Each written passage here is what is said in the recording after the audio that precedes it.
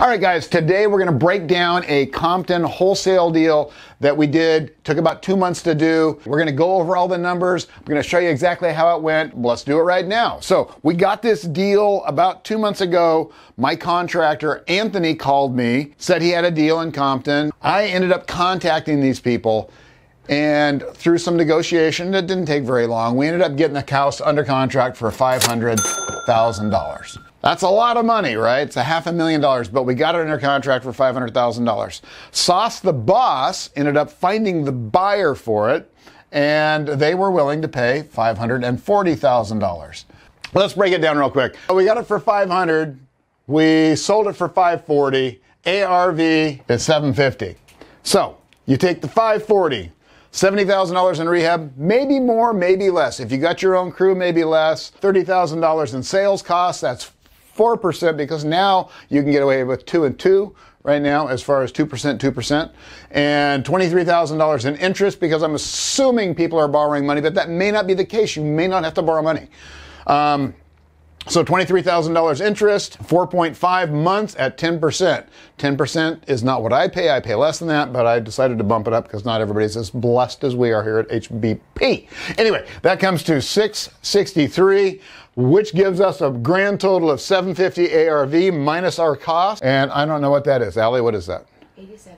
So 87K. Guys, that's a respectable profit. And it may be more. It might be less, but it may be more because a lot of our uh, a lot of our flippers have their own crews. They have their own money. They do all their own stuff. So uh, but if they don't you know this is a pretty pretty fair number. Somewhere between 50 and 100 thousand dollars is what the profit's going to be on this deal. So it was a righteous deal for everybody. So this was a pretty good deal.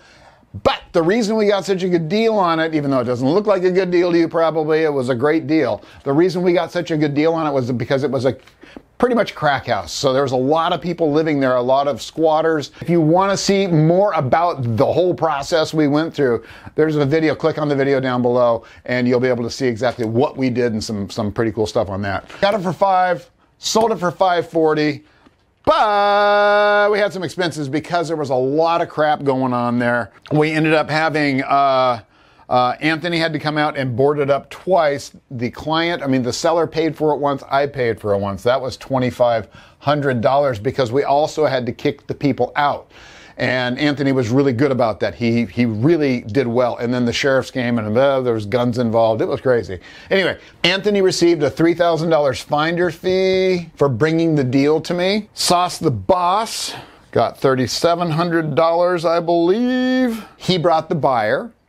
And then uh, Max ended up only getting 500 on this one because he was the transaction coordinator on it. He ended up making uh, some money doing the paperwork. Um, he actually had a couple of buyers for it, but this other buyer came through first, so Sauce got this one. We had $2,000 for security to keep the crackheads out. So we had 11,700 in expenses on this. This is a lot of expenses. Usually it's much less than this when we assign a contract. This one was really different. Again, watch that video down below to kind of get the rundown on it. So that left us with a grand total of 28,300 for home brand properties, which is the name of our company. A good deal. Everybody had to work their asses off on it. One of the harder deals. But guys, how much would this amount of money change your life? That's why finding wholesale deals to begin with is the best way to build your uh, real estate career. Absolutely, bar none, the best way to start your real estate career. Then you can expand to the three pillars, which is flipping, buy and hold, and wholesale. Guys, it's the trifecta, it's the spice of life. So, anyway, I hope you enjoyed this video.